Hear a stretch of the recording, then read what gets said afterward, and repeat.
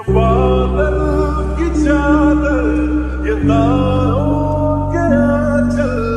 छुप जाऊँ पल तो पल हो फलक तक चल ये